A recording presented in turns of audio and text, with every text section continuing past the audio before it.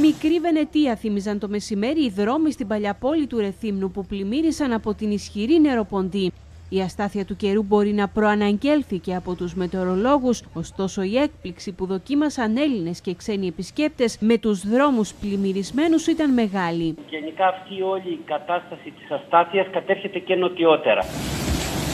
Μέσα σε δύο ώρες φοδρής καταιγίδα, το Εθνικό Αστεροσκοπείο κατέγραψε στο κέντρο της πόλης του Ρεθύμνου 60 χιλιοστά βροχής. Τα φρεάτια ομβρίων στάθηκε αδύνατο να απορροφήσουν εγκαίρως το νερό της βροχής και οι δρόμοι στην παλιά πόλη θύμιζαν ποτάμια εν μέσω χειμώνα και όχι στην καρδιά του καλοκαιριού που διανύουμε.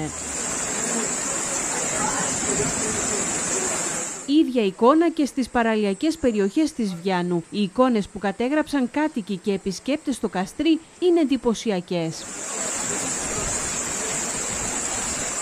Οι μέγιστες ημερήσιες βροχοπτώσεις στην Κρήτη καταγράφονται σήμερα στο Ρέθυμνο, την Ασιγονιά, τα Πεζά, τον Αγιο Νικόλαο, το Φράγμα των Ποταμών, το Τζερμιάδο και το Μεταξοχώρι. Οι θερμοκρασίε θα φτάσουν κοντά στους 28 βαθμούς Κελσίου σαν μέγιστες τιμές. Φαίνεται ότι αυτή η διαφοροποίηση προς τους 28 ή και χαμηλότερα εκεί που μπορεί να έχει βροχή η συννεφιά καταλαβαίνετε θα δώσει την αίσθηση έτσι ότι θα αλλάξει πραγματικά το σκηνικό του καιρού. Ενώ το βράδυ οι θερμοκρασίες θα πέσουν κάτω από τους 20 βαθμούς Κελσίου, ιδιαίτερα στην ενδοχώρα και τα ορεινά θα είναι ακόμα χαμηλότερες, κάτι που θα θυμίζει, έτσι θα δίνει μια αίσθηση όχι δροσιάς, αλλά ακόμα και ψύχους. Δηλαδή θα, θα γίνεται αισθητό το κρύο.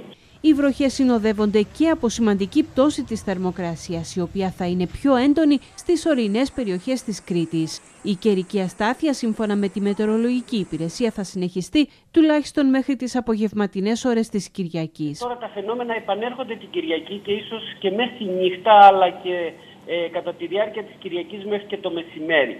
Η Κυριακή θα λέγαμε ότι εμφανίζει σημάδια μεγαλύτερης πιθανότητας αστάθειας, δηλαδή θα βρέξει ίσως σε περισσότερες περιοχές ή λίγο περισσότερες νεφώσεις, ε, γιατί έχουμε και το βόρειο ρεύμα.